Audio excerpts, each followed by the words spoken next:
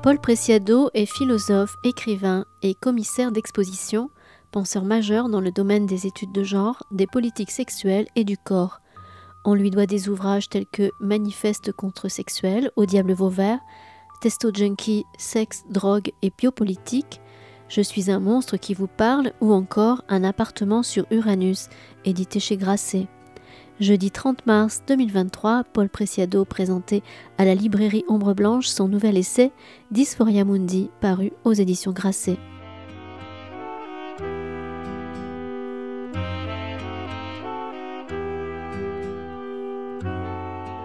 Ça y est, Paul est arrivé, on va pouvoir démarrer. Euh, d'autant que il s'agit d'une rencontre un peu euh, particulière ce soir dans son organisation, parce qu'on avait prévu une, espèce de rencontre au sommet, de dialogue entre Paul Preciado et, euh, Elsa Dorlin, qui malheureusement n'a pas pu venir aujourd'hui. Elle a eu des soucis de, transport. Euh, c'est chose assez fréquente ces jours-ci, mais c'est vrai que normalement, ce sont plutôt les auteurs qui ne peuvent pas venir que, euh, les animateurs. Donc, euh, un peu au pied levé, on m'a demandé de, présenter un peu la rencontre et euh, de, faire parler euh, Paul Preciado, ce qui ne devrait pas être très compliqué.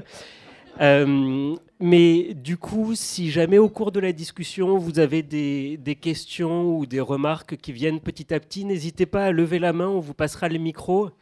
Et euh, ça permettra de peut-être relancer la discussion sur, euh, sur des points que j'aurais pas forcément, auxquels j'aurais pas forcément euh, pensé. Alors, en regardant le livre pour, préparer, je me suis dit, bon, il faut que je trouve un petit peu comment présenter Paul. J'ai trouvé quelque chose de très bien dans le livre, tant qu'à faire ex-examiné et ex-examinateur. Je suis maintenant ex-professeur, ex-commissaire d'art, ex-directeur d'ex-projets, d'ex-institutions et d'ex-musées, ex-historien et ex-collectionneur d'offrandes votives ex-trans. Extraordinaire.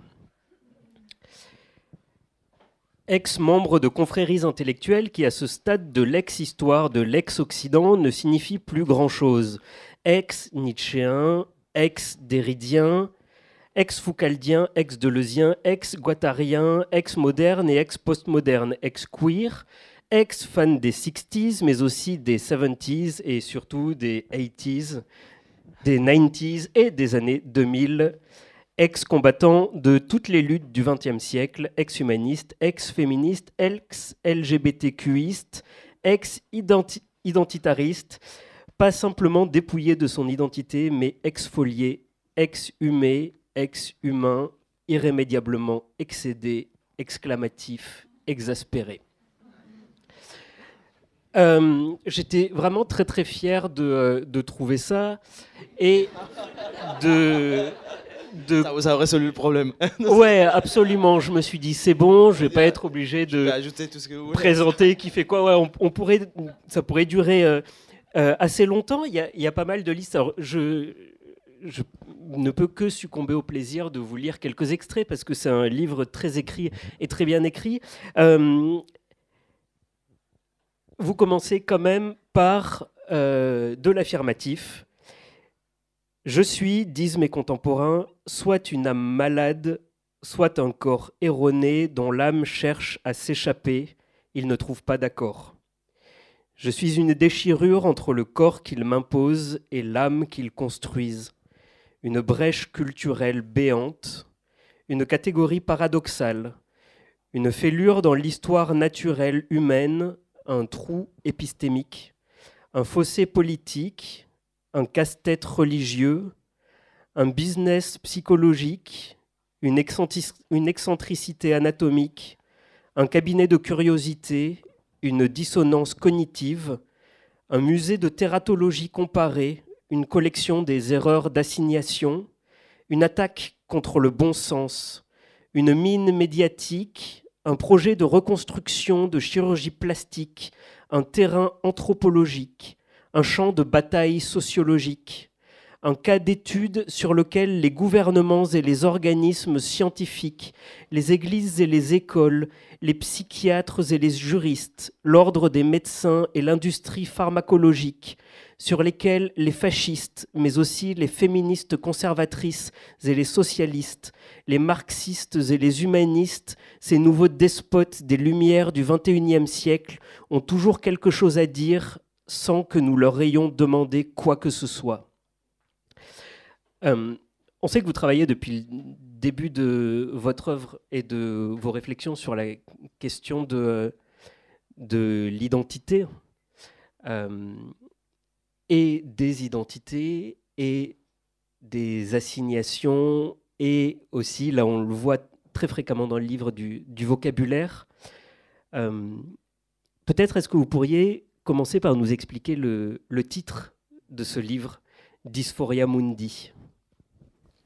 Bon, déjà, en fait, euh, bonsoir à, tous, à toutes, à tous, à, tous et tous, et tous qui ne sont euh, ni ni masculin, ni féminin, ni autre même. enfin voilà. Et merci beaucoup en fait à, Hélène qui est venue me chercher, qui m'a terminé euh, jusqu'ici. Et évidemment à Samuel qui, a eu le, courage d'entreprendre très rapidement cette lecture. Et ce quelque chose n'est pas tellement facile en fait tout d'un coup de rentrer dans un livre de 600 pages comme ça, c'est dire voilà je vais faire la présentation des Paul ce soir. Donc merci beaucoup en fait vraiment et j'espère euh, te rendre la tâche aussi facile que, possible en fait. Je suis très content d'être là parce que ça faisait longtemps que je n'étais pas venu à Toulouse et qu'à chaque fois que j'arrive dans cette ville, hein, c'est immédiat. Enfin, moi, j'aime les villes, en fait. J'aime les villes. Euh, un... Quelqu'un me disait tout à l'heure, parce qu'on cherchait un, chien à Paris d'une amie à moi, et quelqu'un qui était assis à côté m'a dit, mais il y a quelqu'un euh, ici à Toulouse, en fait, qui parle avec les animaux à distance. Et, euh, et donc, des, coups, bon, mais des coups, je me suis dit que j'étais quelqu'un qui, parlait avec les villes à distance, en fait, comme on parle avec les animaux à distance. Et des coups, euh, c'est vrai que dès que je suis arrivé à Toulouse, on ressent une, une, énergie politique ici dans cette ville qui est, euh, qui est, extraordinaire, quoi. même par rapport, à, par rapport à toute autre ville de France. Il y a quelque chose ici qui, qui, a une vibration particulière et que j'aime beaucoup. Donc je suis très content d'être là et de voir la salle euh, voilà, aussi, aussi pleine et vous voir ici. Parce qu'en fait, finalement, si je viens, c'est pas tellement euh, pour vous dire quelque chose, parce que j'ai déjà. Enfin, c'est pour ça qu'on écrit. On écrit justement pour, euh, pour parler avec vous par, par communication, par télécommunication. En fait, l'écriture, c'est ça. Hein. C'est trouver une manière pour parler avec vous, autre qui est juste la parole, comme maintenant. Mais si je viens, c'est surtout pour euh, générer ça, ce qui se passe aujourd'hui là. C'est-à-dire que, vous êtes là comme une espèce d'assemblée euh, éphémère et que des coups, en fait, euh, vous pouvez vous rencontrer parce que vous êtes là autour de ça, autour d'un livre, en fait. Donc, je suis très content de, de, permettre ça, de permettre la, la rencontre, en fait, éphémère qui, qui s'est produite aujourd'hui autour du livre même si je ne vais pas être là avec vous très longtemps, parce que c'est très rapide. Et euh, malheureusement, cette fois-ci, parce que, que j'ai vraiment très envie de venir à, Toulouse plus, plus longuement, en fait, et rester plus longtemps, parce que franchement, la, ville est, géniale et l'énergie est très belle. Et, euh, c'est bon, voilà, j'ai bien aujourd'hui en particulier à parler, à parler de cette livre, parce que peut-être que euh, par rapport à d'autres livres à moi, surtout peut-être par rapport à, Je suis un monstre qui vous parle, qui était un livre euh, peut-être plus, euh, plus facile d'accès, notamment parce que c'était très bref. Et, aussi peut-être à l'appartement sur Uranus, parce que c'était un, livre qui était une collection des, chroniques que j'avais publiées chez Libération. Et donc c'était deux livres qui peut-être étaient plus faciles d'accès, comme ça immédiatement. Alors que Dysphoria Mundi, c'est un, un, autre projet, en fait. C'est, il est un peu différent. Je ne crois pas que ça soit plus difficile, mais peut-être, en fait, c'est plus, ça, ça ressemble plus, on va dire, à la série. Qui euh, vous voyez ce que je veux dire? En fait, c'est quelque chose d'un peu plus long. Il y a plus de personnages là-dedans. Il faut rentrer un peu plus... plus il faut, voilà, c'est quelque chose qu'il faut traverser. C'est plus comme une forêt, en fait. Et du coup, euh, je comprends que peut-être, en fait, si vous n'êtes pas soit dans les domaines académiques, soit dans les domaines de la voracité euh, littéraire, il y a des gens qui sont très voraces, hein, et vous voyez un livre de 600 pages, vous dites, ah, génial. Parce que... Mais si ce n'est pas votre cas, euh, peut-être vous êtes un peu plus timide et vous vous dites, en fait, comment je vais rentrer dans ces livres. Et donc, du coup, je peux vous expliquer, en fait, comment, euh, pourquoi je le fais à un moment donné, pourquoi j'ai envie de faire ces livres, en fait, et euh, d'où il vient, en fait, et où je, viens, où je vais, en fait, parce que les livres, c'est Enfin, moi, si personne ne m'arrête, je ne fais pas un livre de 600 pages, je continue. Et je fais...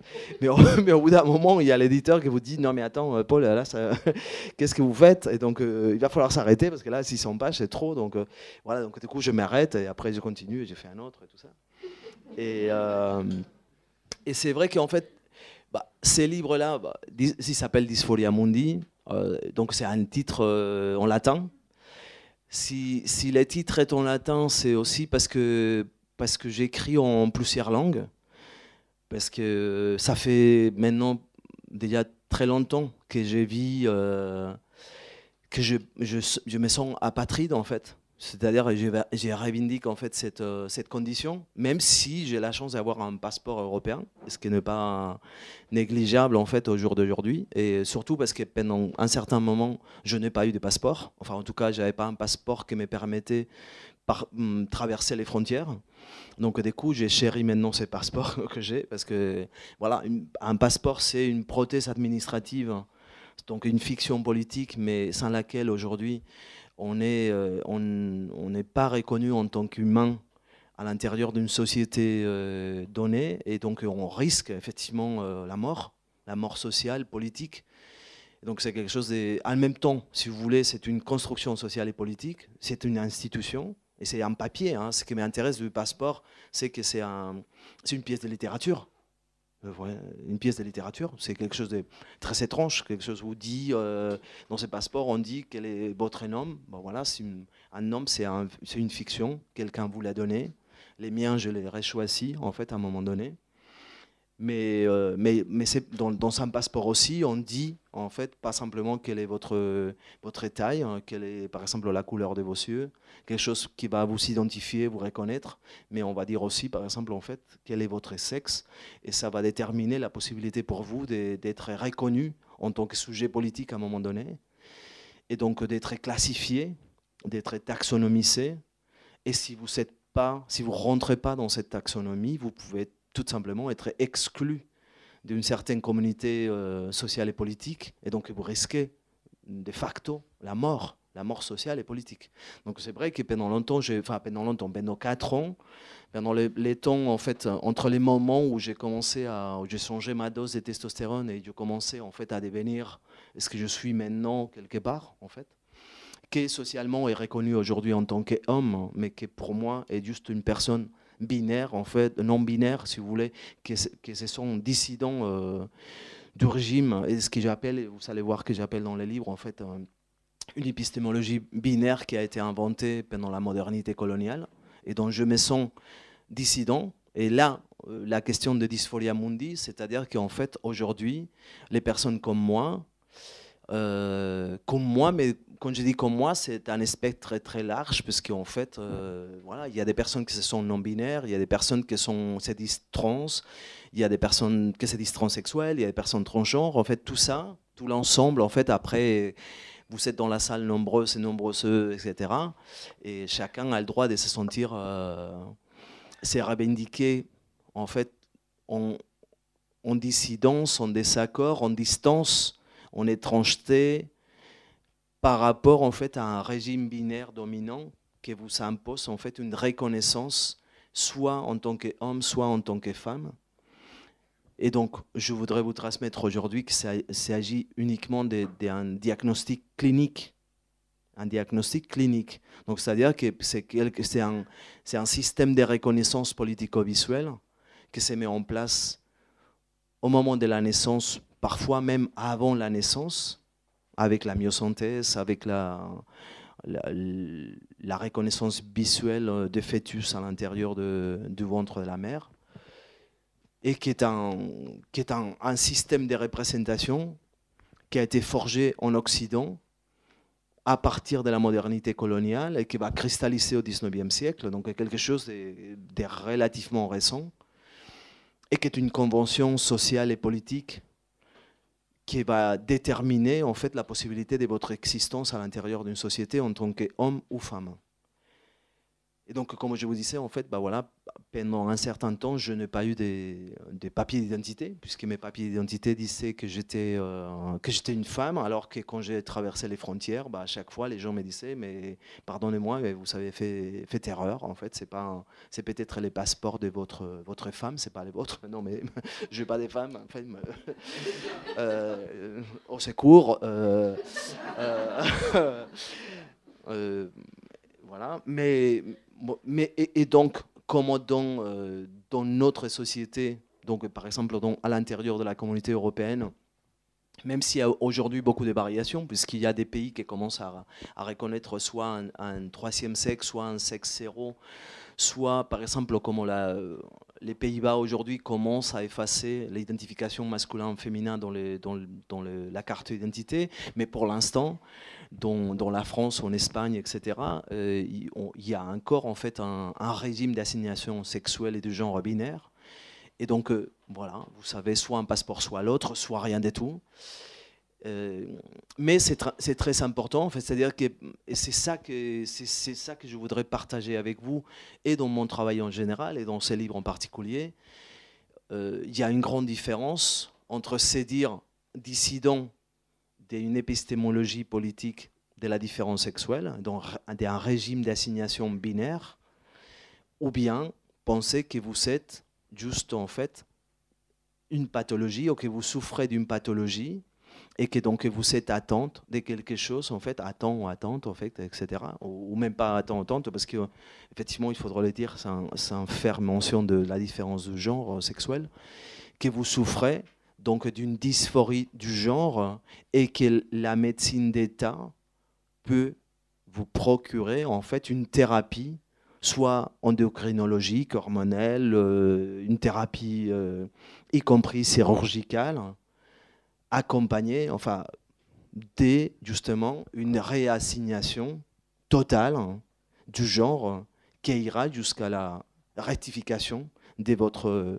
pièce d'identité donc des votre même euh, dès l'acte de naissance, puisque c'est ce qui s'est produit. Hein. C'est ce qu'il faut savoir. En fait, je trouve que c'est la réalité de l'assignation de genre de la sexualité aujourd'hui, de sexe. En fait, c'est une, performance des, des, des hautes fictions, puisque en fait, on arrive euh, jusqu'à la destruction de votre acte de naissance, puisque tellement en fait la société de les régimes binaires dans lesquels nous vivons ne comprend pas, ne, peut pas admettre qu'en fait on puisse à un moment donné changer des, assignations du genre. Donc on va détruire votre, votre acte de naissance pour en fabriquer un acte de naissance des années après. Donc rétro-daté, donc on va redater votre acte de naissance. Mais mettons par exemple, moi je suis né en, j'ai 52 ans, donc je suis né en 1970 ça, voilà. Ça vous télétransporte aussi parce que tout ça pour vous dire en fait que c'est ce que je racontais à Hélène aujourd'hui, c'est que je, suis une personne non binaire depuis que j'ai 4 ans. En fait, je sais que je suis non binaire. En fait, en tout cas, voilà, j'ai toujours été, je me suis toujours senti en fait en distance et en dissidence avec un régime que je sentais comme, euh, comme oppressif et normalisant. Mais j'ai dû attendre, j'ai dû vous attendre, en fait, euh, vous attendre pendant 40 ans. Je vous ai attendu toute ma vie et vous êtes là maintenant. C'est-à-dire que, et c'est pour ça, en fait, que par exemple, la fin de, la fin de mon livre, en fait, c'est une lettre aux, nouveaux activistes euh, non binaires. Parce que c'est vrai, je vous ai attendu toute ma vie et que j'avais l'impression que pendant des années, des années, y compris à l'intérieur des mouvements féministes, des mouvements LGBT, etc., je me sentais en solitude. Je me disais, mais je, je dois être très étrange, puisqu'il n'y a personne euh, qui a une expérience comme la mienne. Puisque ce qui m'intéressait, moi, n'était pas du tout l'identité, le fait de se dire euh, gay, lesbienne, etc., en fait, mais plutôt la désidentification. Je me disais, mais je ne suis pas je suis pas hétéro, mais je ne suis pas non plus lesbienne. Je ne suis pas euh, homme, mais je ne suis pas non plus femme. Je ne sais pas exactement ce que je suis, mais je ne suis pas. Donc j'avais une espèce d'ontologie négative des non-identifications. Ce qui m'intéressait, c'était justement cet exercice constant de désidentification par rapport à la norme. Alors que tous mes, mes, collègues, tous les gens en fait, qui traversaient avec moi les mouvements et que, qui ont été mes, mes pères pendant des années et avec lesquels je fais aussi la politique pendant des années, eux, ils étaient souvent dans, dans, un, dans un exercice quasi hyperbolique des productions d'identité. C'était toujours les gays, les lesbiennes, les, homosexuels. Moi, je disais, bon, ok, d'accord, bah, allons-y, mais moi, c'est pas exactement ça. Et donc, je vous ai attendu pendant 40 ans, et maintenant, euh, voilà, vous êtes là. Et, je suis tellement ému parce que, parce que j'avais vraiment besoin aussi de retrouver des gens, euh, même si c'était 40 ans plus tard, des gens qui, ressentaient en fait cette distance critique par rapport au, régime de la, de la binarité normée. Voilà. Et donc, des coups, c'est pour ça aussi, pardon, parce que je n'ai pas répondu comme souvent, vous allez voir, en fait, de toute façon, ma, ma, ma pensée, enfin, c'est aussi ça, hein. si vous rentrez dans mes livres, vous rentrez un peu dans ma pensée, et ma pensée, c'est un énorme labyrinthe, en fait, voilà, je vous donne 40 tours, euh, mais je reviens, je vais revenir, je, vous n'allez pas être totalement perdu, puisque, effectivement, euh, c'est très différent, je vous disais, en fait, considérer qu'en fait, en tant que personne non binaire, en tant que personne trans, vous êtes, vous souffrez d'une pathologie que la médecine de la modernité appelle dysphorie du genre, et que donc vous acceptez un processus de thérapie clinique, hormonale ou autre, ça c'est une manière de voir les choses. Et une autre manière de voir les choses, c'est penser que vous êtes dissident politique d'un régime normatif. C'est très différent. Donc, du coup, coup vous n'avez pas du tout besoin d'une thérapie. Vous êtes en, besoin plutôt d'un processus d'émancipation critique. Ce qui est très différent que se sentir en fait malade et donc que penser que, que, que la médecine et la pharmacologie d'État peuvent vous procurer en fait une thérapie quelconque à cette maladie je ne suis pas, en tout cas, je ne me sens pas du tout malade et je ne je sens pas du tout, par exemple, mes, mes pratiques, euh, soit avec la testostérone, soit avec l'écriture, soit avec les changements des genres légaux, soit avec les changements des noms, etc. Je, je les pratique en fait en tant que, si vous voulez, euh, en tant qu'acte de dissidence critique. Je ne le pratique pas comme, comme une thérapie quelconque. En fait, ça vient à soigner rien du tout. Et donc, euh, c'est pour ça que pour moi, euh, ce, que, je présente en fait comme dysphoria mundi, en fait, donc la dysphorie, ne pas du tout la dysphorie du genre, mais la dysphorie du monde, si vous voulez, c'est en fait les, décalages, la brèche entre un régime, donc un régime politique et une épistémologie, une représentation du monde, un système de connaissances binaires, normatives, dans lesquelles effectivement il faut être soit homme, soit femme, et aussi la seule sexualité reconnue en tant que normale est la, sexualité reproductive hétérosexuelle, évidemment, par rapport à laquelle, à nouveau, l'homosexualité est une pathologie. Mais voilà, c'est pas une pathologie, c'est encore une fois une forme de dissidence par rapport à la norme, ce qui est très différent.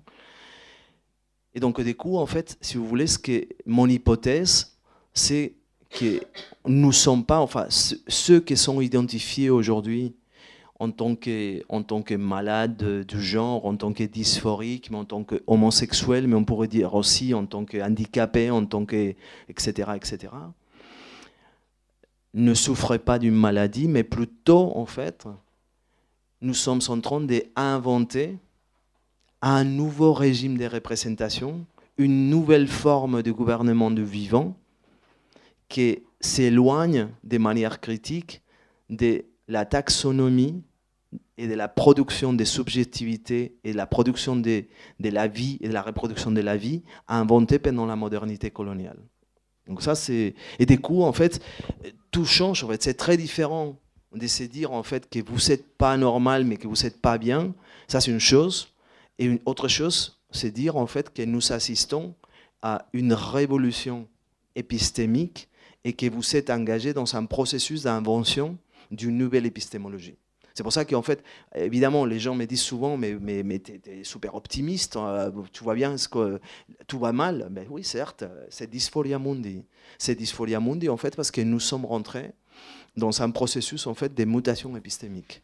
Et dans ce processus, évidemment, la question c'est, je vous dis pas, on a, on a tout gagné, absolument pas. C'est-à-dire c'est un processus très complexe et donc il y a une, une, bataille ouverte en fait pour la redéfinition des taxonomies, mais aussi pour la redéfinition des techniques de production et de reproduction de la vie qui vont des, euh, de la pharmacologie à la biotechnologie, à l'intelligence artificielle, aux réseaux sociaux, euh, etc.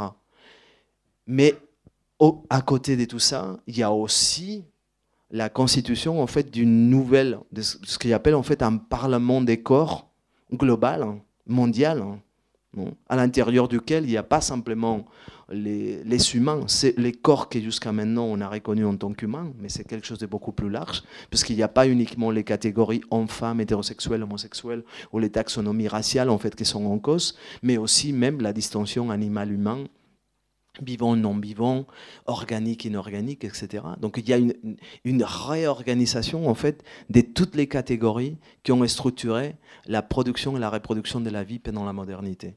Et donc euh, moi ce que je vous dis, mais je le vois comme ça, hein, c'est que nous sommes dans un moment extraordinaire. Nous vivons un moment mais d'une beauté politique extraordinaire, puisque pour la première fois, tout est possible. Il y a une, une ouverture en fait qui pourrait permettre la réorganisation des technologies de production du vivant.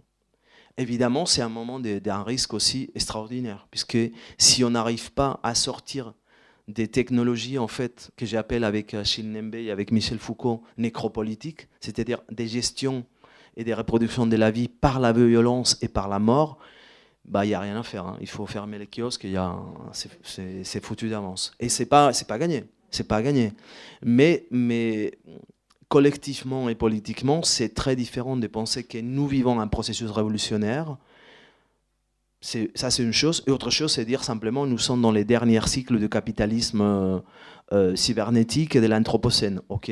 Alors à ce moment-là, chacun chez soi en train de faire euh, des réseaux sociaux et en train de se dire bon, on va voir comment j'arrive plus ou moins à me placer enfin, des meilleurs côtés, en fait, pour essayer d'éviter apparemment les tsunamis climatiques qui arrivent. Ok, certes, il y a aussi la question du changement climatique, il y a, plein de questions, mais la question centrale qui, va permettre ou pas, en fait, la survie pas simplement de l'humanité, hein, mais la survie, des, on pourrait dire, des mammifères dans leur ensemble, en fait, sur la planète, c'est la capacité d'inventer collectivement des nouvelles technologies des productions et des reproductions de la vie.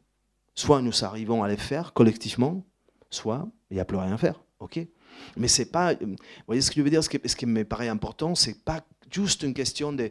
Bon, bah, c'est une question de féminisme, des quatre femmes qui sont là en train de dire. Non, non, non. On parle en fait de. C'est vraiment les technologies dans leur ensemble des gouvernements qu'il va falloir modifier. Et donc, ce qu'on en dit des technologies des gouvernements, ça veut dire en fait des systèmes de représentation, c'est la grammaire, c'est toutes ces techniques. Évidemment, là, il y a toute la question de mon langage qui est très Foucaultien, mais en fait, les, philosophes, on est, des, plombiers. On est des plombiers de la pensée. Hein. C'est pas. Comment dire euh, Je, je n'ai pas l'impression. Parfois, les gens me disent, en fait, euh, notamment par exemple, hier à Bordeaux, il y avait il y avait beaucoup d'ados et des gens très jeunes, et il y avait des gens en fait très jeunes qui me disaient, mais le problème c'est qu'il y a tellement de mots difficiles dans ce que tu dis. Et moi je me dis que ça peut pas être plus difficile qu'Instagram, en fait. vous, voyez ce que, vous voyez ce que je veux dire? Non, en fait, euh, finalement, si on se mettait d'accord là, c'est parce qu'aujourd'hui on a une heure et demie, c'est pas longtemps. Mais si on prenait ensemble, par exemple, c'est pas trois jours, je vous dire que c'est absolument pas difficile mais comprendre effectivement que euh, les mécanismes de pouvoir en fait à l'intérieur de duquel on construit la vérité du genre, de la sexualité, de la subjectivité, aussi de la reconnaissance raciale, de la reconnaissance nationale, etc. C'est des technologies de pouvoir, hein. c'est-à-dire c'est pas et quand on dit des technologies de, de pouvoir, ça veut dire qu'elles sont construites historiquement, qu'on peut les modifier et qu'il va falloir se mettre d'accord en fait voilà, ce que je demande, en fait, si vous voulez, c'est une espèce de moratorium général, en fait, qui, a quelque part est en train de, par exemple, maintenant, avec ce qui se passe maintenant avec les, avec les grèves, avec euh, euh, évidemment, avec de tous les côtés, si vous voulez, en fait, avec les arrêts à tous les niveaux, en fait, qui ont commencé d'une manière différente, en fait, pendant les confinements. Et vous allez voir que dans les livres, en fait, je parle pas mal de du, ce qui s'est passé pendant le coronavirus. Puisque, euh, et c'est pour ça peut-être que les livres sont comme ça aussi. Parce que peut-être que c'est les premiers livres que je fais où je m'adresse aux gens qui sont ou qui croient qui sont dans la norme. Puisque j'ai passé très longtemps en fait à travailler dans, le, dans la contre-culture, dans l'underground en fait, et que j'ai pendant longtemps en fait essayé de comprendre et d'écrire d'inventer un langage quelque part, ou de peut-être m'inspirer de, langage qui m'entourait pour écrire, mais à l'intérieur des mouvements minoritaires et dissidents. C'est-à-dire soit dans, la, dans, la, dans, les politiques, comme je vous disais tout à l'heure, en fait, dans les politiques minoritaires sexuelles, dans les politiques gays lesbiennes, dans les politiques trans, dans les politiques non binaires, mais aussi, par exemple, en traversant les luttes autour du sida à partir des années 90.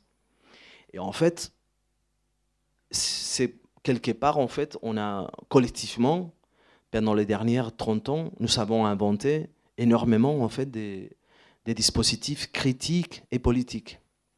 Et tout d'un coup, en fait, quand j'ai vu arriver euh, la soi-disant crise euh, euh, du Covid, en fait, je me suis dit que l'ensemble des technologies de la mort qui nous avaient touché, nous, les corps minoritaires, corps racisés, corps considérés comme handicapés, corps considérés comme minorités sexuelles, aussi en grande partie corps féminisés et donc quelque part aussi minorisés par l'assignation en tant que femme. Toutes ces techniques, en fait, et qui avaient aussi touché beaucoup de corps, en fait, en tant que corps euh, malades du sida à partir des années 80, que cette technologie de la mort qui avait touché une partie de la population uniquement, et dont le reste de la population pensait qu'eux, ils étaient à l'abri de ces techniques, ils se disaient, bon, écoute, bon, c'est, vrai, c'est terrible ce qui se passe, hein, mais bon, bah, c'est, avec les homosexuels, avec euh, les gens qui ont le sida, hein, avec, on ne sait pas, enfin, les travestis, euh, les trablots, les, les transsexuels, comment disaient les gens à l'époque, les transsexuels, on ne savait pas. Voilà, quelque chose de très rare, en fait, c'était comme, des, des, extraterrestres, en fait, qui étaient tombés sur Terre. Mais tout ça, en fait, concerne pas les corps normands. Les gens qui, qui soi-disant, étaient à l'abri des, des, techniques de la violence et des techniques de la mort, qui évidemment aussi, aussi touchaient, par exemple, les femmes et les enfants dans la violence sexuelle, les femmes qui abortaient, euh, et les femmes à l'intérieur de l'institution du mariage qui étaient euh, soumises à énormément en fait, des restrictions par rapport à leur liberté corporelle, etc. Mais se disons, en fait, il y avait comme un, comme un, un, espace de la normalité dans lequel les gens étaient soi-disant euh, très tranquilles. Ils se disaient, bon, bah c'est ouais, vrai, c'est dommage, il y a le sida, mais on ne sait pas ce qui se passe, mais c'est terrible, mais il y a des gens qui meurent et tout. Mais... Et, en fait, ce qui s'est arrivé en fait, avec, avec la, la crise du Covid, en fait, c'est que ces techniques qui touchaient pendant très longtemps uniquement des corps soi-disant minoritaires, des corps racisés, je répète, hein, parce que ça me paraît très important, des minorités sexuelles, des corps féminisés, des corps racisés, les enfants, les malades, notamment les malades du sida, aussi les consommateurs de drogues. On pourrait en parler parce que la question est complexe et c'est pour ça que aussi les livres est long. Ces techniques des gouvernements par la violence et par la mort étaient en train de s'étaler à la totalité de la population. Et tout d'un coup, les gens qui étaient avant dans les privilèges de la normalité, notamment les corps blancs hétérosexuels mâles, ils étaient là, un peu comme on dit à Moix, tout d'un coup, oh, mon Dieu, j'ai perdu ma liberté. Ah, bah c'est génial, hein. tu as perdu ta liberté, bah bienvenue, tu vois. Nous, on n'avait on jamais. C'est-à-dire, c'est le moment en fait, où, où les, Normands ont compris que la liberté était un privilège, en fait. Qui était un privilège, c'était, c'était une position de pouvoir. Et qu'en fait, il y avait, dû à un changement, justement, épistémologique et politique, en fait, les technologies de la mort étaient en train de s'étaler à la totalité de la population. Avec un, peut-être aussi une recrudescence en fait des dispositifs du capitalisme digital.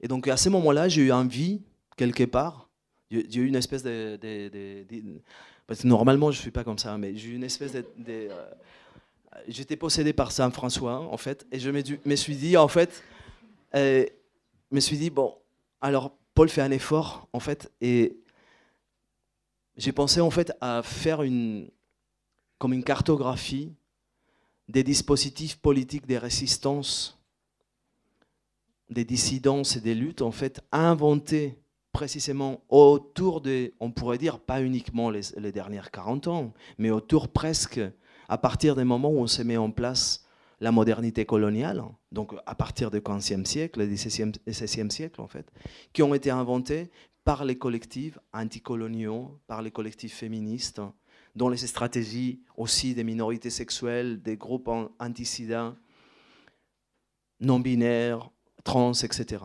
Et donc, ce que vous trouvez là, quelque part, c'est ça.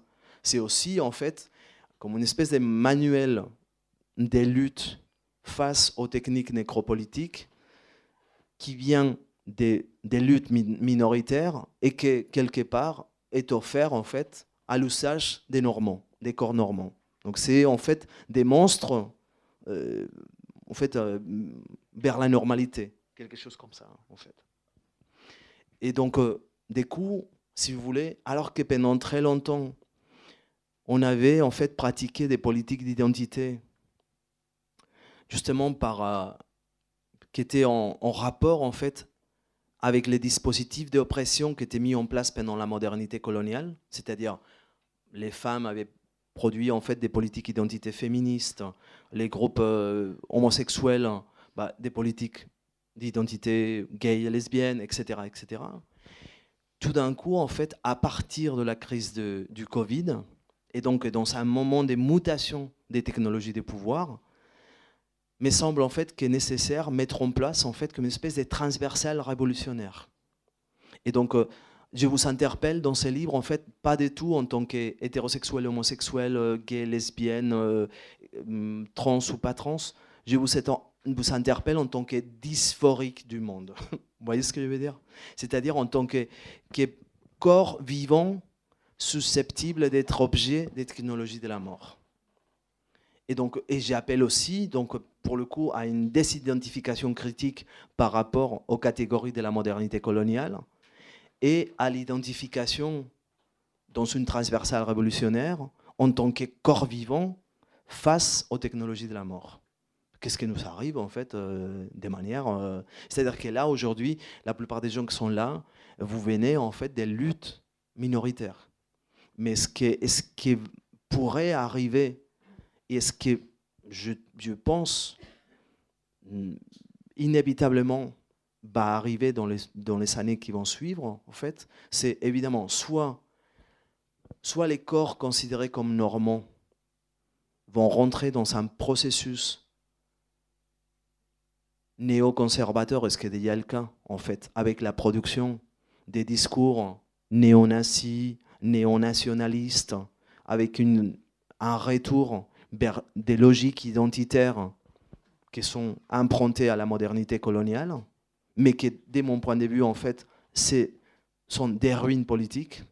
Donc, euh, vraiment, enfin, c'est-à-dire, euh, bon, c'est peut-être euh, possible encore de faire un appel, en fait, par exemple, à des logiques identitaires nationales, mais on sait aujourd'hui que les, structures de l'État-nation, elles n'est plus du tout celle qui gouverne, celle dont les dispositifs des pouvoirs gouvernent dans l'actualité, par exemple, aujourd'hui, même les territoires de la France. Puisqu'en fait, aujourd'hui, les dispositifs du marché et du capitalisme digital échappent complètement en fait, à la territorialisation de l'État-nation français, par exemple. Donc on, continue, si vous voulez, à faire appel à des fantômes, des, des ruines épistémiques et politiques pratiquement du 19e siècle. Cette rédification, en fait, rigidification néo-identitaire est totalement possible et elle nous entoure partout avec euh, un retour aussi des, des discours euh, néofascistes, etc. Ça, c'est une possibilité. L'autre possibilité, en fait, c'est un réveil critique des, soi-disant corps normands et donc une espèce de, si vous voulez, des, des des corps normands qui vont comprendre en fait qu'ils sont objets aussi des techniques de la violence, des extractions du capital, des technologies de la mort, et qui peut-être vont rejoindre les dysphoriques de ce monde.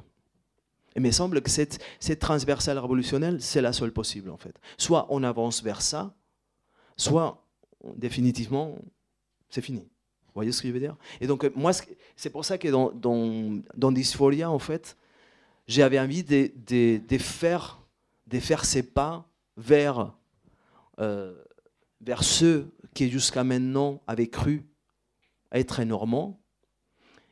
Et donc, du coup, en fait, faire une espèce de, de grand partage de, de, ces stratégies et des dispositifs de résistance et d'invention euh, face au moment de cette mutation épistémique que nous sommes en train de, vivre. Voilà, donc euh, je, enfin bref, je vais essayer d'expliquer en fait. J'espère que, la, que, la, que la rigolade en fait est, est productive en fait. Et, voilà. Euh, non, alors je suis, je suis très très. Je vois des mains et des gens qui posent déjà des questions. Euh, bah, des corps qui s'élèvent, en fait, ça Du coup, je vous passe direct le micro, c'est très bien. Euh, bonsoir, euh, désolé de vous couper peut-être, mais est-ce que vous pourriez revenir sur ce que c'est en fait ces euh, technologies de la mort pour vous et vraiment définir ce que ça peut être en fait tous les mécanismes? Je peux vous répondre en fait de manière théorique ou de manière beaucoup plus terre à terre et pratique. je vais essayer un peu les deux. C'est-à-dire que, pour, vous, dire en fait où se situent aujourd'hui les, les débats de la philosophie politique et vous dire que c'est pas simplement une question qui me concerne moi, mais que nous sommes aujourd'hui, je dirais, des, dizaines et des, centaines des, penseurs, des chercheurs, des, philosophes, des sociologues, des anthropologues, en fait, à essayer de, euh, comprendre euh, quel est le fonctionnement des, technologies de gouvernance que nous avons construites collectivement pendant la modernité. Parce que quand même, vous vous direz, en fait, c'est quand même, nous sommes quand même des, une espèce extraordinairement étrange. Hein. Parce que ça veut dire que, collectivement, on invente des technologies dont on ne connaît pas la nature. Parce que assez extraordinaire. Et donc, du coup, il faut. Euh, et, ça nous arrive constamment. Hein. C'est-à-dire que, euh, par exemple, en fait, le fait que vous, vous savez. Vous savez une pièce d'identité, vous savez un nom, vous savez soi-disant une nationalité, vous savez, vous savez un sexe, soi-disant, vous vous dites peut-être hétérosexuel ou homosexuel, mais la question, en fait, c'est se poser collectivement la question de, mais, enfin, qu'est-ce que ça veut dire être hétérosexuel ou homosexuel? Parce qu'il y, a des gens, en fait, qui pensent que ça, c'est une condition, une espèce de vérité psychologique, en fait. Vous voyez ce que je veux dire? Bon, il n'y a, a, pas de vérité psychologique. C'est, par exemple, quand je parle des, technologies de la mort, par exemple, je vais vous donner un exemple, en fait, qui pourrait ne pas apparaître comme une technologie de la mort, mais qui est une technologie de la mort et une technologie de la violence, de violence. L'assignation sexuelle au moment sexuel, on dit en français, on dit en anglais du genre. On pourrait en parler de cette différence, mais bon. Au moment de la naissance, cette assignation du genre au moment de la naissance, on pourrait penser en fait que c'est juste un acte euh, descriptif. Voilà, il y a un enfant qui est né, donc euh, on regarde en fait, euh, on regarde soi-disant ses organes génitaux, et par rapport à est-ce qu'on trouve voilà, une protubérance ou pas, on se dit, bah voilà, c'était une, fille, c'est un garçon. Donc ça, par exemple, on pourrait dire que c'est un, juste une description d'une vérité naturelle. Néanmoins, en fait, c'est une technique. Donc, euh, qu'est-ce que ça veut dire une technique? C'est un ensemble des accords scientifiques. C'est-à-dire, par exemple, il faut, à un moment donné, regarder l'enfant, regarder ses corps, ne pas en tant que corps vivant, mais regarder ses corps par ses, ses organes génitaux, par exemple. Il faut mesurer ses organes génitaux il faut les mesurer selon une échelle qui est décidé par un comité scientifique qui va penser que si vous savez donc une protubérance génitale qui est plus petite en fait que 1 cm, vous serez assigné à la féminité. Si vous avez une protubérance en fait qui est plus grande en fait qu'un centimètre, vous serez assigné donc à la masculinité. Quand je parle, ça pourrait, on pourrait se dire bon, il n'y a pas de violence là-dedans. Mais si, il y, a, y a énormément de violence parce que nous savons aujourd'hui qu'il y a un enfant de chaque 600 enfants qui est né aujourd'hui en France et partout dans le monde en fait, qui ne peut pas être reconnu comme masculin ou comme féminin par rapport à cette échelle, à cette échelle de classification, à cette taxonomie de classification. Et donc, euh, à ce moment-là, il y a un ensemble de dispositifs qui vont se mettre en place pour réassigner ces corps qui sont considérés comme intersexuels, donc comme pathologiques par rapport à la norme. Et donc cet ensemble de techniques vont être, par exemple, l'administration des hormones aux enfants, l'opération, l'opération de, l'enfant au moment de, la toute petite enfance, ou tout au long de l'enfance et de l'adolescence.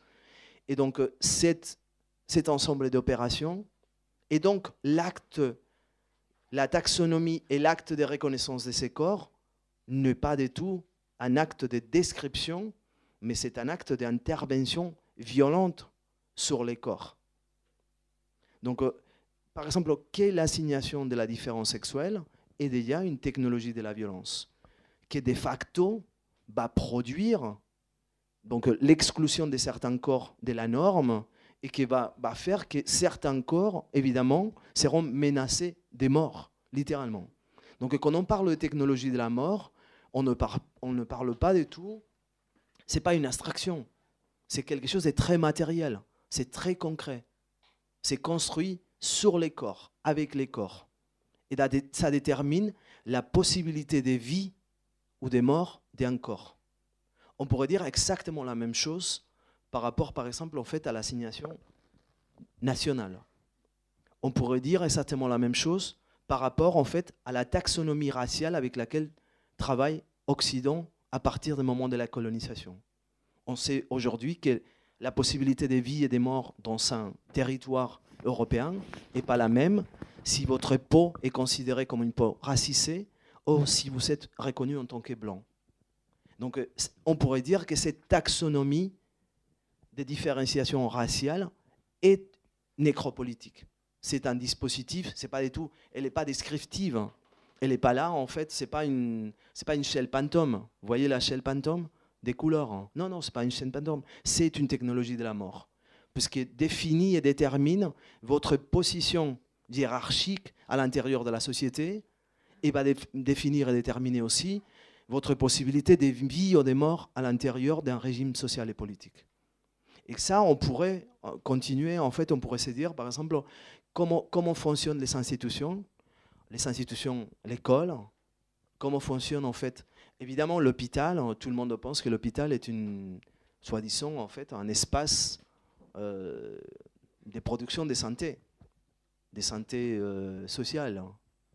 Mais on pourrait, dire, on pourrait dire aussi que l'hôpital est un lieu de gestion de la mort, concrètement de la, mort. C'est-à-dire tous les jours, des décisions économiques sont prises à l'intérieur d'un hôpital qui vont faire que certaines personnes, par leur âge, par leur état de handicap, par la condition économique, par la condition, c'est-à-dire par cette taxonomie raciale qui va imposer en fait une reconnaissance différente à chaque, port, à chaque corps, fera que certaines personnes sont définitivement et clairement en fait la mort. Donc euh, c'est, quand, on parle en fait des technologies de la mort, on ne parle pas du tout de quelque chose d'abstrait, mais on pourrait en fait, si vous voulez, en fait, faire comme une espèce de, de grande cartographie de tous les dispositifs qui nous entourent, en fait. Par exemple, on parle, heureusement, on commence à beaucoup en parler du viol. Les viols, c'est une technologie de la violence. J'imagine que c'est clair pour tout le monde. Vous voyez ce que je veux dire? Les viols, c'est pas une manière de faire l'amour contrairement à ce que certains peuvent penser. À la limite, le viol, c'est même pas du sexe en fait. C'est une technologie de la violence qui se sert du corps et de la sexualité en fait pour imposer une forme de pouvoir et une forme de violence sur un autre corps, qui peut aller jusqu'à la mort, évidemment. Donc on pourrait faire une collection comme ça, jusqu'au moment où, en fait, où on pourrait dire que notre problème historique, c'est que la, la, plupart des technologies des gouvernements avec lesquelles nous, on travaille en Occident à partir de la modernité coloniale, c'est des technologies nécropolitiques. On connaît, on connaît mal et très peu en fait des technologies qui ne fonctionnent pas par la violence et par la distribution de la mort. Il y en a, il y en a. Mais... Et donc, c'est pour ça que, que, de mon point de vue, en fait, justement, une des choses qu'on devrait faire collectivement, c'est se réunir. En fait, je propose par exemple, voilà, fermer les écoles, fermer les musées, fermer et ouvrir juste des parlements des corps destinés à inventer collectivement des technologies des gouvernements et des productions de la subjectivité non nécropolitiques. Qu'est-ce que c'est? Je ne sais pas. Je, enfin, je, ne sais pas plus que vous. Puisqu'en fait, euh, à la limite, comme je vous dis, je suis qu'un plombier de cette, euh, de cette épistémologie. Donc j'essaye de voir en fait euh, par où ça fuit. Mais par contre, je ne sais pas plus que vous, puisque je suis à l'intérieur du même système des pouvoirs et des reconnaissances en fait que vous quand même, cette cartographie des techniques nécropolitiques, elle est esquissée dans des chapitres qui s'appellent Oraison funèbre, dont je vais vous lire un, petit extrait, qui sont Notre-Dame des riches, priez pour nous. Notre-Dame du viol, priez pour nous. Notre-Dame de l'Anthropocène, priez pour nous. Notre-Dame du patriarcat, priez pour nous. Notre-Dame de l'hétérosexualité, priez pour nous. Notre-Dame de la reproduction sexuelle obligatoire, priez pour nous. Notre-Dame du machisme, priez pour nous. Notre-Dame du binarisme sexuel normatif, priez pour nous. Notre-Dame du viol conjugal, priez pour nous. Notre-Dame des abus sexuels, priez pour nous. Notre-Dame de la révolution industrielle, priez pour nous. Notre-Dame de la guerre, priez pour nous. Notre-Dame de la colonisation, priez pour nous. Notre-Dame de la mondialisation des marchés financiers, priez pour nous. Je prends un peu au hasard. Notre-Dame de l'extractivisme, priez pour nous. Notre-Dame de l'automatisation, priez pour nous. Notre-Dame des centrales nucléaires, priez pour nous. Notre-Dame de la vente des armes, priez pour nous. Notre-Dame de la mafia, priez pour nous. Notre-Dame de la frontière, priez pour nous. Notre-Dame de la déportation, priez pour nous. Notre-Dame des Jeux Olympiques, etc. Euh, Notre-Dame de la sixième extinction, priez pour nous. Notre-Dame de la septième extinction, priez pour nous. Notre-Dame du fascisme, priez pour nous. Toi qui veilles sur notre sécurité, aie pitié de nous. Toi qui nous donnes la vie et qui nous l'apprends, aie pitié de nous. Ouais, parce qu'en fait, ce qui se passe dans, dans les livres, c'est que vous allez voir, c'est aussi un livre dysphorique dans le sens où euh, j'ai aussi voulu transversaliser un peu l'écriture philosophique avec d'autres, enfin traditionnellement philosophique, donc plus académique, avec d'autres formes d'écriture. Donc notamment par exemple les litanies, puisque comme vous entendez par mon accent, par exemple moi je suis né en Espagne, donc j'en ai mangé des litanies quand j'étais enfant. Euh, et, aussi, les livres commencent quelque part en fait par l'incendie par de Notre-Dame. Et, euh, et, par évidemment la grande difficulté que nous avons eue en fait à, à, voir l'incendie de Notre-Dame collectivement, et par euh, cette pression extraordinaire des politiciens en fait à vouloir immédiatement reconstruire Notre-Dame. Du coup, en fait, c'est vrai que, que bon, moi, en tant que dissident aussi de cette espèce de catholicisme euh, féroce en fait, dans lequel j'ai grandi en Espagne, en fait, bah, j'ai eu envie de faire euh, une espèce de litanie en fait, à Notre-Dame. Euh, c'est très gênant de. Enfin, j'ai un commentaire à faire qui est très gênant parce que c'est une correction par rapport à quelque chose que vous avez dit vraiment au tout début à propos des papiers d'identité en France. Et c'est juste que moi, c'est quelque chose que je connais parce que c'est tangent à mes recherches. Euh, et c'est un cas assez particulier parce que sinon, vous avez, à l'échelle générale, vous avez raison. En effet, on détruit les papiers pour en faire de nouveaux. Euh, mais en France, on a une culture de l'état civil qui est très particulière. Et on ne détruit jamais, l'état civil ne détruit jamais rien, on met toujours en, marge. Et euh, du coup, alors c'est con, je l'ai pas sur moi, mais moi, j'ai mon, euh, mon, acte de naissance. Euh, du coup, la forme que ça prend, c'est on saute une ligne et c'est à compter de la date. L'intéressé se nomme. Voilà. Mais c'est du coup, l'état civil français ne détruit jamais aucune pièce. Il, il fait que réécrire en plus. C'est très, ouais, c'est très intéressant parce qu'effectivement, je pense que ça, ça, tient aussi. Merci pour, pour cette précision qui est importante. Parce que je pense que ça tient aussi à, deux cultures euh, institutionnelles différentes. Celle euh, de l'Espagne, en fait, qui a passé 50 ans dans le fascisme, où effectivement on était très habitué en fait à tout détruire et à tout refaire. Et, celle de la France, en fait, qui est, euh, dans laquelle, en fait, qui est très régalienne, donc qui, tient beaucoup vraiment à la, à la précision de la loi, n'empêche n'empêche que toutes les deux en fait quelque part euh, je dirais sont, sont, en mutation en fait il n'y a aucune des deux mais semble être peut-être la, la plus juste en fait par rapport à, à ce que à ce que la possibilité en fait d'un mouvement collectif des, transformations épistémiques propose en fait que serait effectivement euh, arrêter l'assignation de la différence sexuelle à la naissance et peut-être en fait considérer que certains papiers d'identité que nous possédons sont juste des ruines épistémiques. Donc le, les gardes, il pourrait être en fait presque comme, comme encore une fois comme Notre-Dame qui brûle. Vous voyez ce que je veux dire? C'est-à-dire qu'idéalement, idéalement, vous savez qu'il y a certains activistes, certains artistes aussi qui l'ont fait à un moment donné, en fait, de brûler par exemple les papiers d'identité brûler les passeports, etc. Idéalement, on pourrait bien brûler les passeports avec euh, Notre-Dame à un moment donné. Si, si on, allait collectivement en fait vers, vers une autre épistémologie, une autre, un autre régime des connaissances. Alors, je n'ose pas vous dire que je vais vous demander de faire un truc contre nature, ce serait peut-être malvenu. Euh, mais en tout cas, faire preuve de dissidence, il nous reste relativement peu de temps. Euh, donc, le nouveau jeu, ça va être de poser des questions courtes et un peu efficaces et d'y répondre de manière très légèrement plus rapide. Là, c'est celui-là qui, a, plus de difficultés à le faire, c'est moi. Alors, moi, ce que je voulais dire, en fait, c'est que euh, comme nous sommes un peu comme une, assemblée, en fait, qui peut penser à sa, sa autogestion, nous pouvons décider collectivement qu'est-ce que nous voulons faire et comment. C'est-à-dire par exemple, on pourrait se dire en fait qu'il y a moi qui parle, en fait, on pourrait faire une prolifération des paroles. Et donc vous dites, peut-être on peut dire tous un peu quelque chose. Et ça, moi, j'aimerais beaucoup.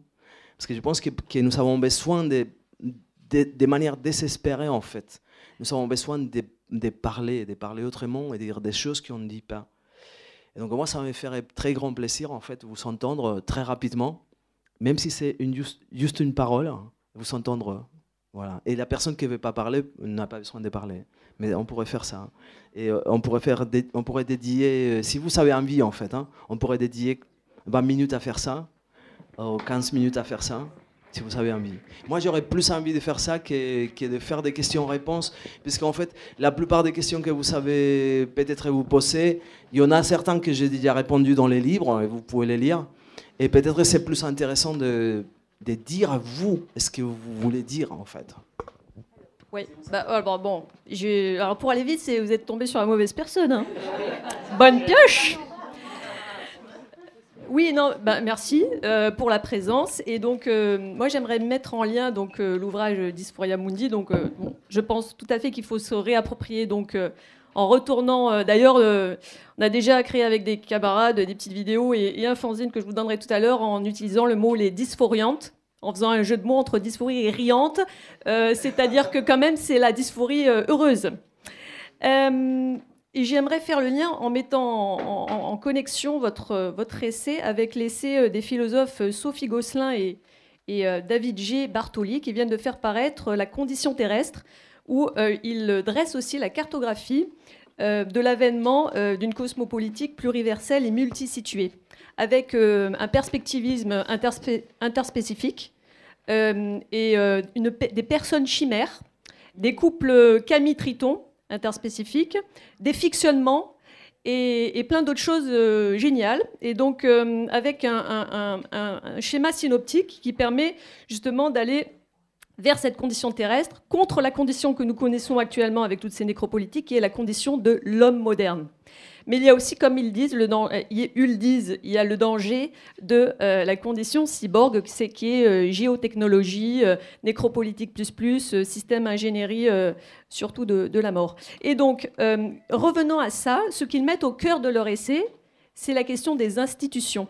Et d'ailleurs, ils, font, ils, parlent du Parlement de Loire, donc cette expérience qu'il y a eu au bord du fleuve Loire, puisqu'ils ils vivent, ils vivent le, long de, le long de la Loire. Et euh, voilà, mais je ne prendrai pas cette personne, euh, je ne citerai pas cette personne ici. Euh, non, c'est pas, c'est pas du tout lui qui, qui a l'initiative de ça. Donc, alors, Foucault. Moi, je dirais une petite phrase de Foucault, puisque c'est quand même un peu un ami. Le Foucault, il nous a dit en effet, et donc, citant, enfin, Gosselin citant Foucault, bien sûr, il ne s'agit pas seulement de se libérer de l'État, il s'agit de se libérer des, des modes de subjectivation de l'État. Et alors, ma question, en effet, une petite question en l'air comme ça, c'est-à-dire que comment, en tant que personne sujet, subjectivée par. Euh, dans un milieu, on a été totalement construit, notre subjectivité a-t-elle euh, été fondée par l'État En effet, il s'agit donc désormais de s'arracher à cet État. Et en lisant Gosselin et, et David G. Bartoli, il y a une il y a une idée très, très, très évidente et très folle qui est la question justement, non pas ce qui est utilisé par certaines personnes identitaires, conservateurs, les fameuses ruines politiques de la modernité patriarcalo-capitaliste coloniale, qui est euh, en fait... Euh, ah il y, a le il y a le blackout. qui, qui, qui est en fait que quand on se rassemble, quand on crée des assemblées interspécifiques, en fait, en tant qu'être vivant, on se modifie dans l'altérité. Et alors que, comme le disait aussi Achille Membe, les démocraties modernes sont fondées par l'affirmation identitaire, par l'exclusion, là, il s'agirait de s'affirmer par la relation. Et en fait, l'immense euh, l'immense espoir ou espérance, le principe espérance peut-être, qui traverse vos deux essais, c'est qu'en fait, on peut véritablement se transformer, mais encore faut-il créer les institutions et les assemblées pour pouvoir rentrer en relation. Et aujourd'hui, les institutions aux origines de ces techniques nécropolitiques et nécrotechnologies, en fait, euh, sont là pour détruire les communautés. Confère Notre-Dame-des-Landes, euh, elles détruisent les communautés et donc les relations. Et euh, donc, en effet, il y a un immense effort d'invention avant même d'inventer les technologies, en effet, des nouvelles institutions. Et donc c'est un chantier, voilà, c'est ce que je voulais dire euh, absolument. Euh. donc je pense que c'est bien de lire les deux essais en parallèle. Voilà, j'ai pas posé de questions puisque désormais tout le monde doit parler. Ben, c'est très bien, il y a quelqu'un déjà qui a, qui, a, qui a, dit quelque chose. Très bien, et moi je suis, très, suis totalement d'accord avec vous, ça me, paraît, ça me paraît génial, mais je pense que, que quand, on, quand on dit institution, euh, parce que sinon, je pense que beaucoup de personnes dans la salle se disent, mais l'institution, en fait, en réalité, nous inventons des institutions par les pratiques. Par les pratiques. Donc, euh, il faut, c'est-à-dire les pratiques, à un moment donné, quand, les pratiques, en fait, sont reconnues collectivement, petit à petit deviennent des institutions. Donc, euh, c'est dans la, dans, la, prolifération et la multiplication de nouvelles pratiques auquel, en fait, si vous voulez, je vous invite, en fait, et je pense que vous le faites euh, constamment. Donc euh, oui, absolument. en effet, juste un petit mot technique. Non, non, la, définition de la, définition de institution pour être détendue avec ça, définie par Gosselin et G, c'est faire durer une expérience. Euh, c'est qu'une expérience la prolonger dans le temps. Donc c'est pas du tout l'institution avec le grand I. Hein. Oh, des pratiques, des expériences. bonjour. des paroles, des questions. Ouais, euh, bonjour, c'est encore moi. Euh, euh, alors du coup, ce sera une question beaucoup plus courte à propos du, petit motif récurrent du coup qu'il y a au début de chaque chapitre. voilà où c'est toutes les toutes les dichotomies de la, de la modernité coloniale qui sont plus ou moins déconstruites au cours de l'ouvrage, intérieur, extérieur, plein vide, syntoxique, etc. Une que j'ai été très surpris de pas vraiment voir, euh, c'est très fort ce micro. Euh, c'est celle entre euh, l'individu et le collectif. Et du coup, j'aimerais juste, voilà, un peu savoir si c'était par choix, si c'était un oubli ou si parce que est-ce que c'est une dichotomie qui est plus stable que les autres? Voilà.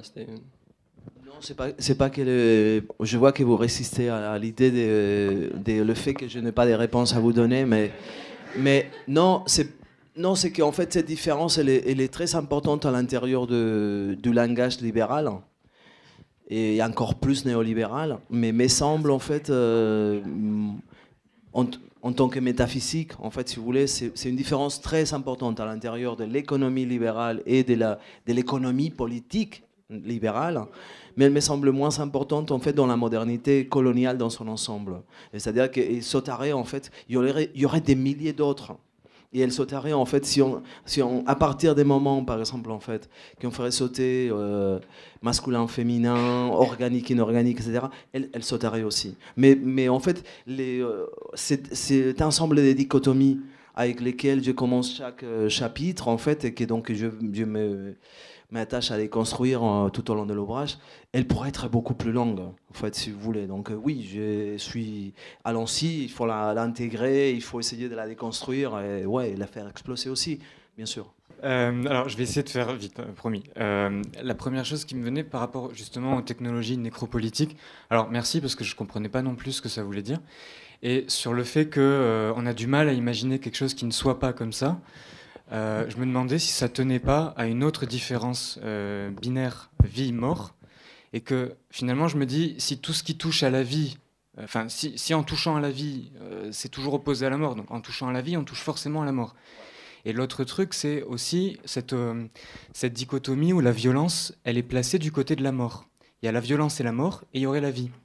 Et je me dis, en fait je pense à une philosophe Claire Marin qui parle de la violence de la vie, et je me dis, à placer la violence que du côté de la mort, est-ce que ça ne nous empêche pas de penser des techniques peut-être violentes, mais qui... Voilà, la violence, c'est pas que du côté de la mort, en fait. Pour, pour aller vite. Et juste l'autre chose à laquelle je pensais, c'était quelque chose de un peu plus soft, par rapport à, à, l'expérience qu'on peut avoir d'être un homme. Donc là, je parle pour moi. Euh, je finalement, si on n'est pas sexiste et qu'on se dit, euh, ben, en fait, être un homme ou une femme, ça ne nous conditionne pas à penser, faire ceci ou cela. On peut avoir aussi une expérience où on se sent homme sans pouvoir savoir ce que ça veut dire. Et euh, par exemple, moi, je me sens homme, mais euh, je ne saurais pas définir ce que c'est, tout en me disant, oui, je suis ça, mais au final, je ne sais pas.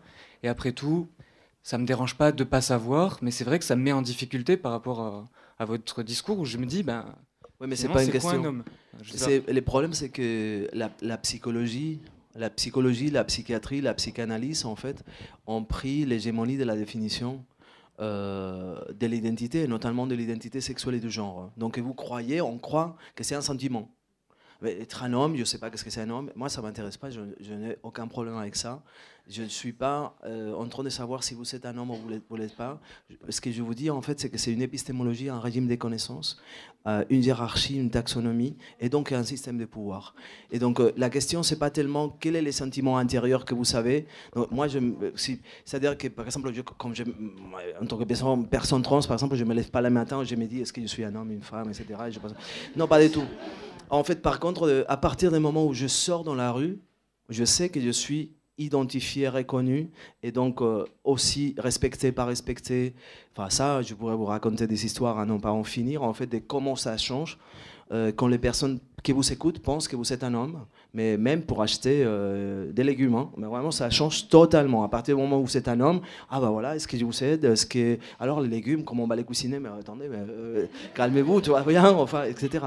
Donc, tout, c'est c'est pour ça que, j'insiste, que je parle d'une épistémologie, parce que c'est un régime des connaissances, un système de pouvoir, une taxonomie, une hiérarchie, c'est une, reconnaissance politico-visuel de chaque corps, en fait. Et ça, donc, c'est, si vous voulez, c'est un ensemble des pratiques, en fait, qui sont euh, constantes. Cet exercice, c'est tellement fort.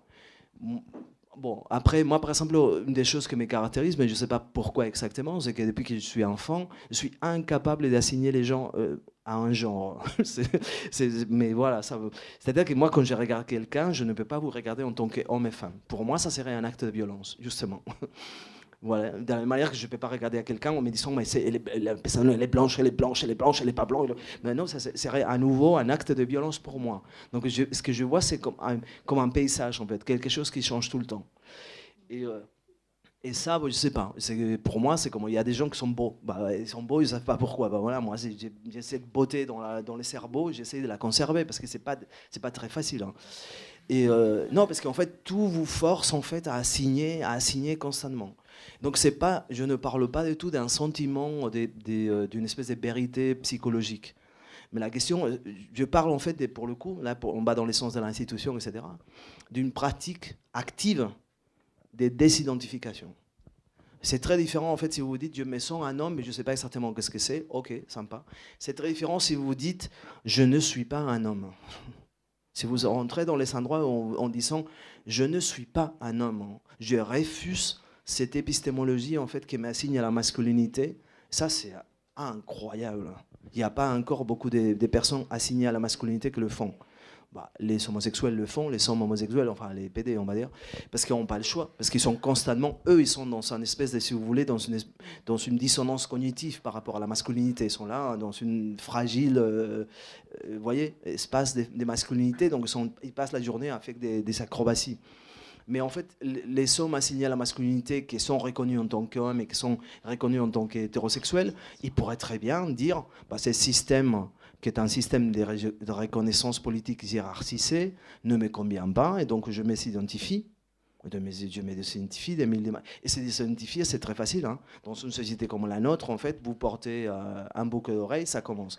C'est-à-dire, encore une fois, c'est des techniques, c'est des techniques du corps c'est pas abstrait. Les langages, c'est une technologie du corps aussi. Ça, c'est la voix. Hein, c'est pas, on parle, c'est la voix. Donc dire je ne suis pas un homme, ça, c'est un séisme qui s'est produit autour de vous. Vous rentrez chez vous, euh, vous dites à votre maman, je ne suis pas un homme, maman. ok, vous me raconterez la prochaine fois qu'on se voit. et ça commence et c'est un boum, c'est un dominant. Ça tombe, mais ça va transformer toutes vos pratiques. Si vous êtes hétérosexuel et vous commencez et vous parlez à la femme qui est en face de vous et vous lui dites mais je ne suis pas un homme, bombe, ça tombe, ça explose. Si vous rentrez dans votre travail et vous dites non mais attendez, euh, je ne suis pas un homme, vous voyez ce que je veux dire? Et donc c'est pas les gens qui disent mais non mais c'est une espèce de ah c'est une mode, non non non non, c'est c'est un acte de résistance politique, c'est une forme de dissidence critique.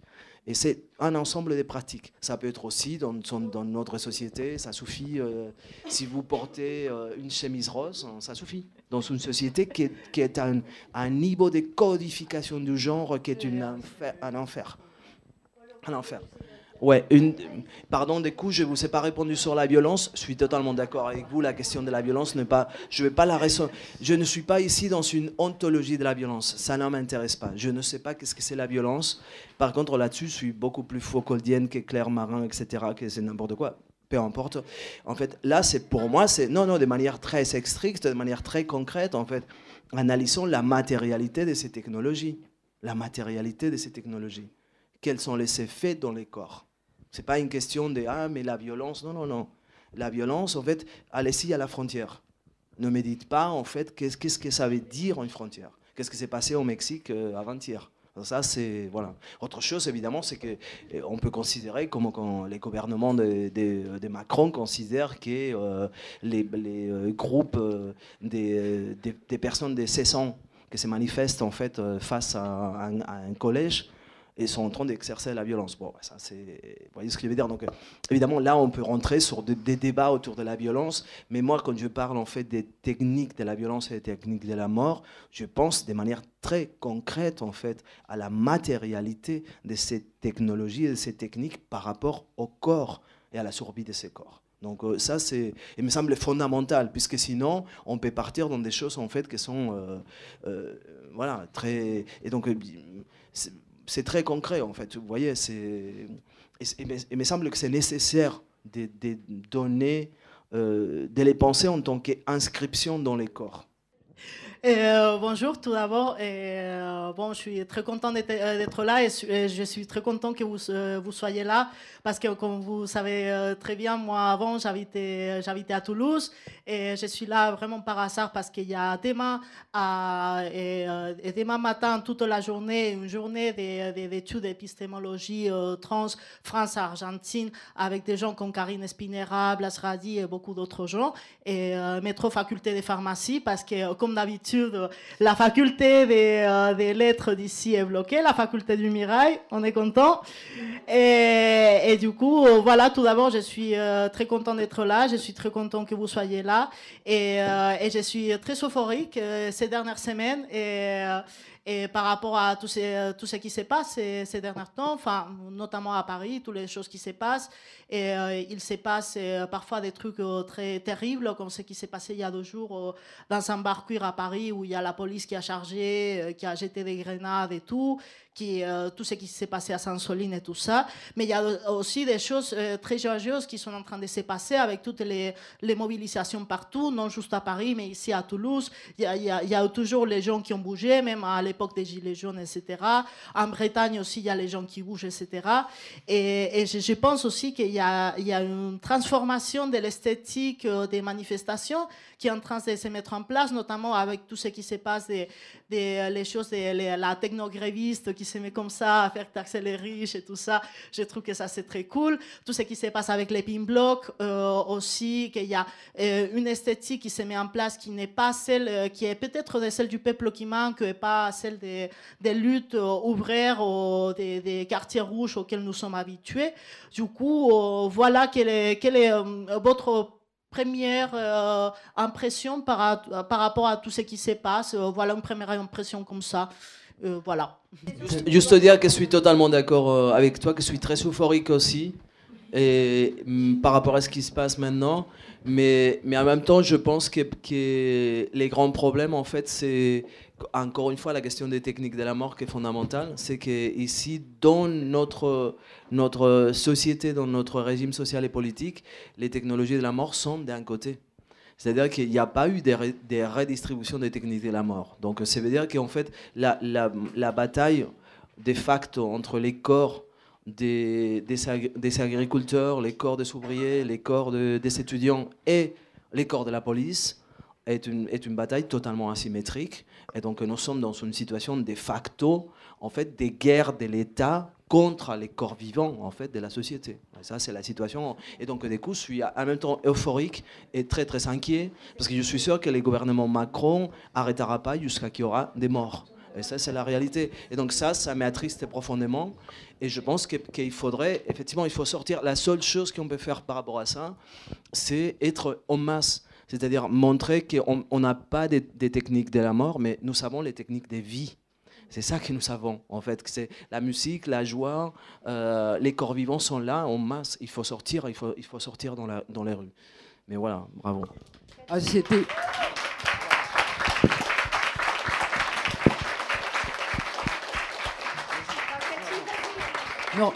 Juste une, une, remarque sur le fait qu'on vit dans un espace qui est de toute façon un espace finalement de violence et qui porte aussi la nécropolitique, c'est la langue.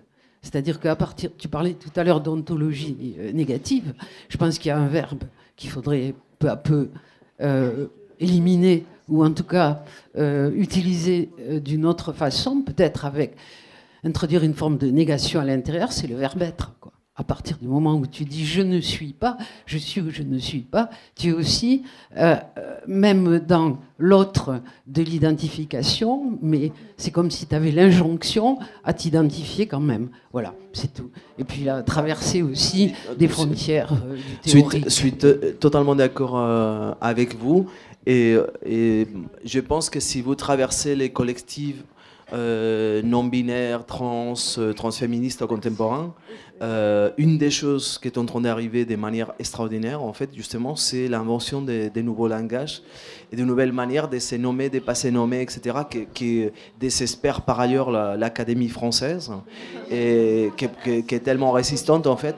Mais ça me paraît, en fait, faire partie de ces processus, en fait, des révolutions épistémologiques que nous traversons. Certes, absolument, absolument. Paul, merci. Merci à vous, hein, merci.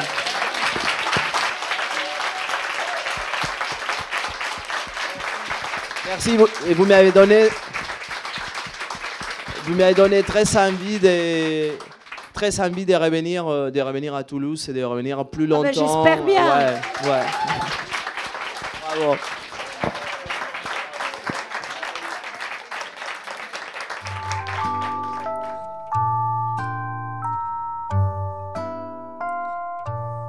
Vous avez pu écouter une rencontre avec l'écrivain et philosophe Paul Preciado, auteur du récent Dysphoria Mundi aux éditions Grasset, enregistré à la librairie Ombre Blanche le 30 mars 2023 et réalisé et mis en onde par Radio Radio avec Radio Radio Plus et Radio Terre.